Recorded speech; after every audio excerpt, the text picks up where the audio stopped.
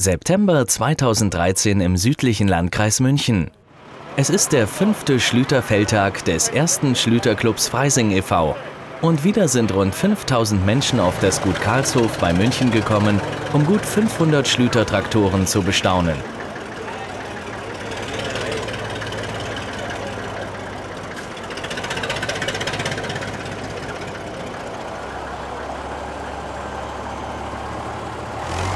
Für den ersten Schlüterclub Freising haben Treffen dieser Art bereits eine lange Tradition, die schon zu Clubgründungszeiten begonnen hat. Jetzt schau her, das ist die graue Maus von Resl Helmut. Schaut genau, Luftfilter hin, da ist einmal zweit bei den Deere und Fendt und Ferguson vorbeigefahren. Die hat alle schon Luftfilter reingerissen. Damals, 2000, haben andere, hat schon andere Schlitterclubs im Norden gegeben. Und da haben sie gesagt, das kann doch nicht sein, dass wir im Freising, wo der Schlitter gebaut wird, heute keinen Schlitterclub nicht gründen, wenn es einen Anton nicht mehr gibt, einen Schlitter. Ja. Und haben sie die Leute zusammengesetzt und haben da einen Grupp, Schlitterclub gegründet. Und so ist es losgegangen. Schon bald nach der Gründung fanden die ersten Schlüter Grünlandtage statt, teilweise mit Bremswagenziehen.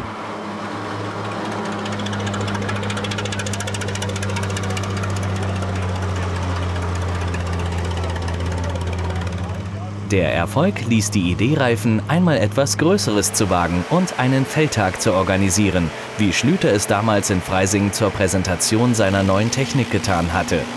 Und das war dann 2009. Und das 2009, da haben wir natürlich einen Traum wieder gehabt, ein Riesenerfolg. Es war wirklich ein wunderbar, alles perfekt funktioniert, das war heute nicht ganz so ist.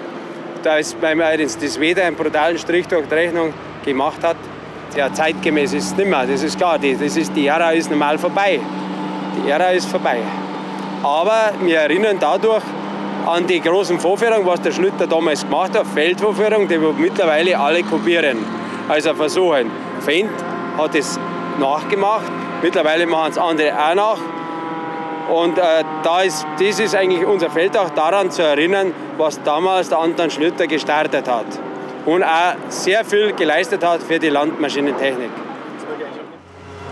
Wenn auch die Schlüterschlepper heute einige Jahre auf dem Buckel haben, so zeigen sie beim fünften Schlüterfeldtag der Freisinger dennoch, dass sie immer noch viel leisten können. Gut restauriert häckseln etwa 100 Schlepper zunächst 30 Hektar Mais, unter anderem mit dem aktuellen Anbau-Feldhäcksler Max 5 der Firma Pöttinger, mit einem 2 Meter rein unabhängigen Maisvorsatz. Die Firma Pöttinger baut mittlerweile wieder Häcksler, dreireihige Schlepperanbau, weil sie sagen, es gibt wieder Betriebe, die wollen wieder selber häckseln. Im Ausland gibt es das mehr schon wie in Deutschland noch. Das haben sie gesagt. Bloß in Deutschland kommen wieder momentan äh, Häcksler rein, weil ja viele Betriebe Schlepper haben zwischen 200, 250 und 300 PS. Der ist ja da auf dem Betrieb. Und dann sagt sich der eine oder andere, kauft man einen Häcksler, machen wir selber.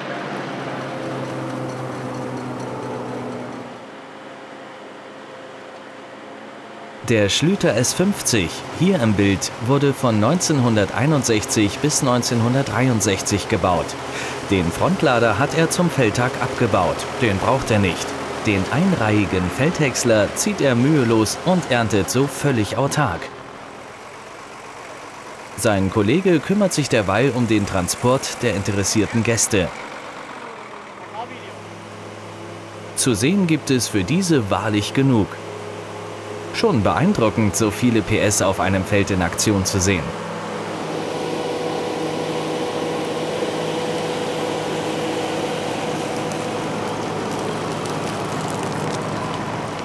Alte Technik, die begeistert und noch immer volle Leistung bringt.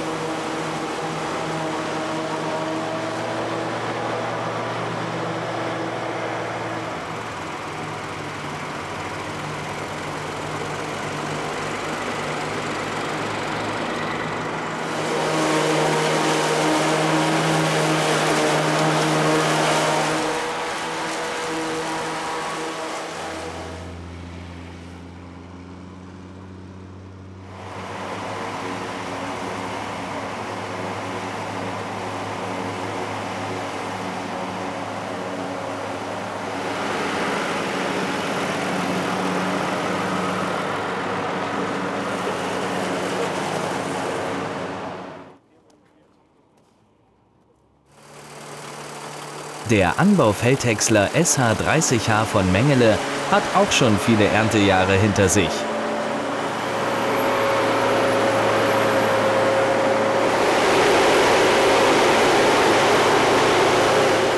Der SH30H wurde ab 1980 gebaut. Ganz ähnlich die Zugmaschine, ein Schlüter Super 1250 VL.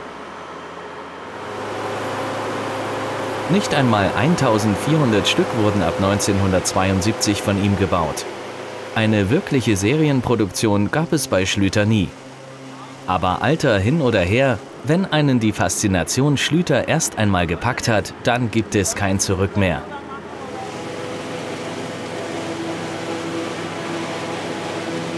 Wir haben den Vario Fendt, dann haben wir einen neuen Ferguson von der neuesten Gruppe. Aber ich fahre liebend gerne auch wieder den Schlüter. Ich bin, wenn ja, sicher, das ist natürlich äh, von der Technik ist das natürlich extremer Rückschlag. Aber das ist eine einfache Technik, da steige ich auf, fahre. Sicherlich, den ganzen Tag ist das natürlich mehr Stress mit den neuen. Das ist klar. Lärm, Staub und so weiter. Das wissen wir ja. Aber das Gefühl, das Feeling von einem Schlüter, wenn man mal gehabt hat und fahrt man lange mit neuen, dann machst du wieder gerne auf. Und was mich halt da immer reizt, wenn der Schlepper wieder sauber, neu, außergeputzt ist und auch Technik, das A und O, nicht außerputzen, sondern Technik wieder frisch erneuert ist, dann passt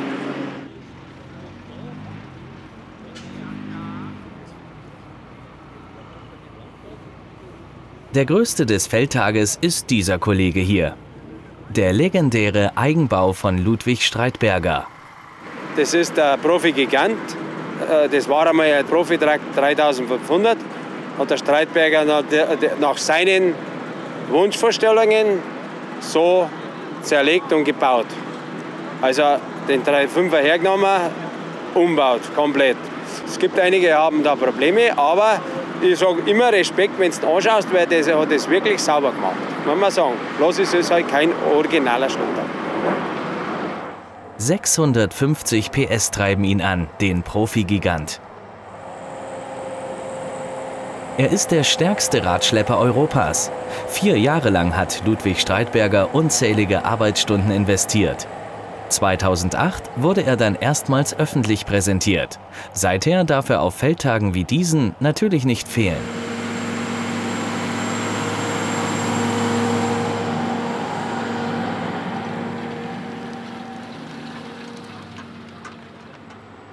Die Vorbereitungen zu den Feldtagen, die Restauration der Traktoren, all das bedeutet für den ersten Vorstand Hans Helminger und seine Mitstreiter viel Arbeit. Ja, da haben wir mir den Winter mit Einverständnis von meiner Frau, aber die war schon ab und zu knurrt, weil die Zeit damit viel vergoldet, sagt sie. Ist so. Aber sie hat, muss ich noch dazu sagen, sie sagt immer wieder, kein Schlüter geht weg. Ich darf keinen verkaufen. Wenn ich einmal den Satz ankündige, ich verkaufe vielleicht einen Wechsel, nichts, der bleibt da. Nach der Maisernte fahren die Traktoren beim fünften Schlüterfeldtag auf zur Bodenbearbeitung.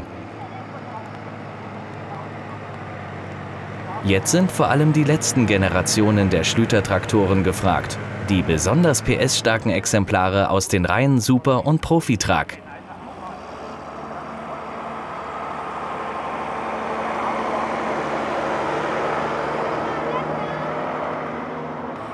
Ein wunderschönes Geschoss ein Bruder aus der TVL Spezial mit über 9 Meter.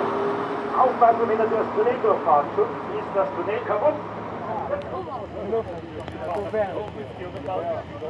Auch hier haben sich wieder neue aktuelle Anbaugeräte in die Schau eingefügt. So zum Beispiel der 3-Schar Frontflug Excelsior FX von Överum. Ja, wir haben hier einen 3-Schar Frontflug. Frontflug angebaut hier an diesem 190er TVL. Der Frontflug hat 1 Meter Körperabstand, hat eine 75er Rahmenhöhe, einen XL-Körper, der sehr langgezogen und dadurch sehr leichtzügig ist.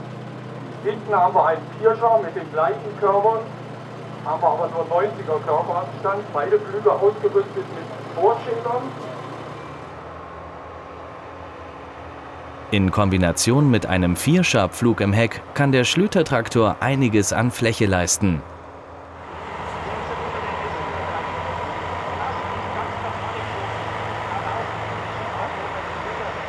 Nicht fehlen darf, denn das ist Tradition, die Firma Gassner. Hier zu sehen ist der Gassner Olymp mit zehn Scharen, der 1972 als damals weltgrößter Pflug auf der DLG-Ausstellung vorgestellt wurde. So, jetzt wird's patzen.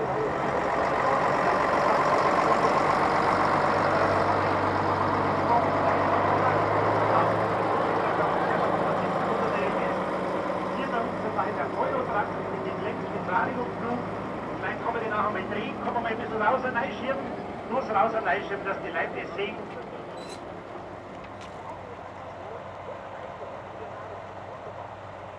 Wenn auch das Wetter im September 2013 nicht optimal für den fünften Schlüterfeldtag ist, die Begeisterung für die Traditionsmarke Schlüter lässt sich dadurch nicht mindern.